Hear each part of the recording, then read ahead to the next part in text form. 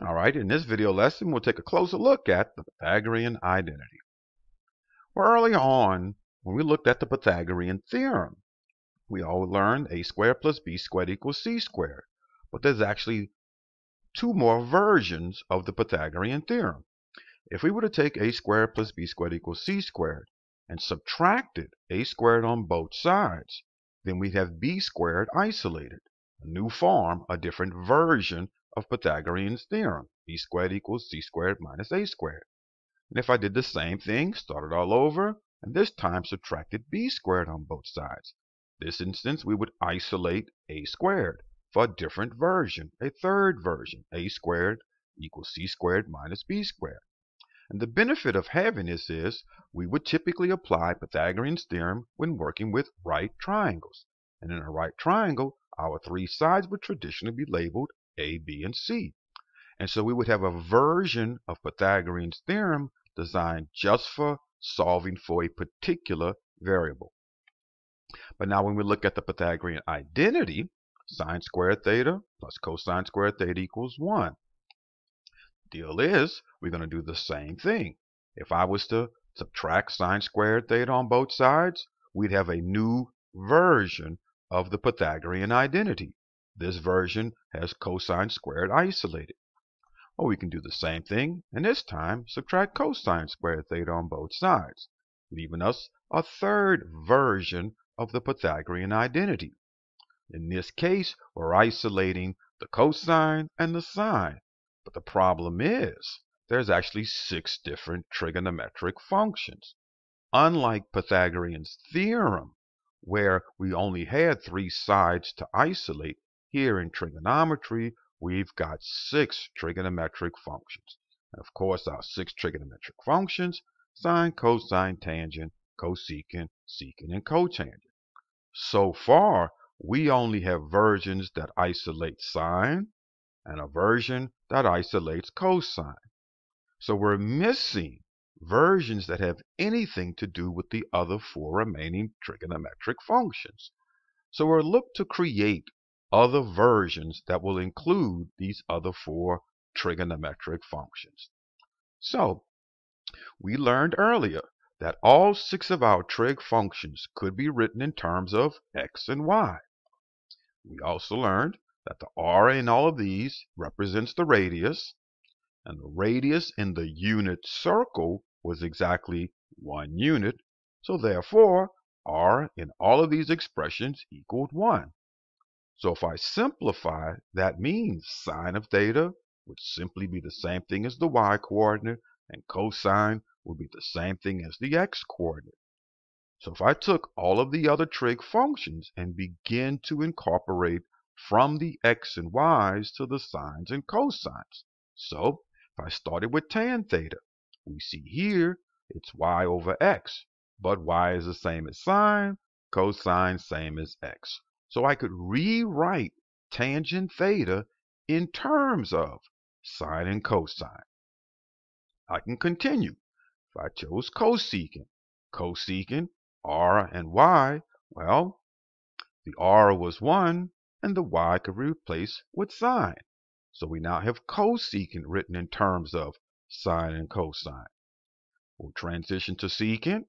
Secant was r over x x was cosine, so 1 over cosine. Cotangent. Cotangent was x over y, so cosine over sine. So we now have all six of our trigonometric functions rewritten in forms of x and y. So here's our six of them. Sine was just sine. Cosine was just cosine. We saw that tangent was sine over cosine. Cosecant was the reciprocal, so 1 over sine.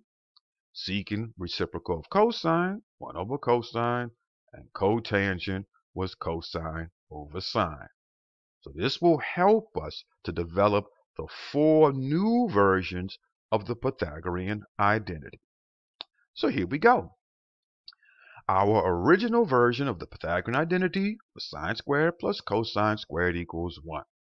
We just created two additional versions that had the sine squared isolated and the cosine squared isolated. So here's what we're going to do. We're going to take the original version, and we learned back in algebra when solving equations, we're allowed to do anything we want on both sides, as long as we did it on both sides. So what I'm going to do is we're going to divide each of the three terms by sine squared theta. And then simplify and see what happens. Well, sine squared theta over sine squared theta, that's just 1. Cosine squared over sine squared, well, we just discovered earlier that sine cosine over sine is cotangent. So, cotangent squared. There's our new the introduction of an additional trigonometric function. Now we have 1 over sine. We discovered that 1 over sine was cosecant. So we've got cosecant squared. So now we have an additional version. This time we've got cosecant squared isolated. Well, I can take this equation and then isolate the cotangent by subtracting 1 on both sides. Now we have another version. Cotan squared equals cosecant squared theta minus 1. And in this case, the cotangent is isolated. So now we're going to do the exact same thing. We'll start with the original version of the Pythagorean identity. The first instance, we divided everything by sine squared. Now we'll divide everything by cosine squared. And then simplify. Well, we've got sine squared theta over cosine squared theta. Let's check our resource. Sine over cosine was tangent. So this simplifies to tangent squared theta. Of course, cosine squared over cosine squared is 1. 1 over cosine, let's check the resource. 1 over cosine is secant. So this simplifies to secant squared. So we have an additional version of the Pythagorean identity. And in this case, we're isolating secant. So let's take this version and let's isolate that tangent. Subtract 1 on both sides leaves us with a new version. Tangent squared theta equals secant squared theta minus 1. So now let's list all the different versions. There's our last version. So the seven versions of the Pythagorean identity the original. So when one is asking, what's the Pythagorean identity? This is the version you give. But you are aware that there's six additional versions, one version for each of the six different trigonometric functions. We saw the first version. If we just isolated the sine squared theta, we were left with 1 minus cosine squared theta. If we isolated the cosine, we were left with 1 minus sine squared theta. We saw previously, if I divided everything by cosine squared, that helped us to create tangent. That gave us our tangent squared theta, secant squared theta minus 1. We did the same thing. We were able to isolate cosecant, 1 plus cotan squared. Secant squared theta has its own, tan squared theta plus 1.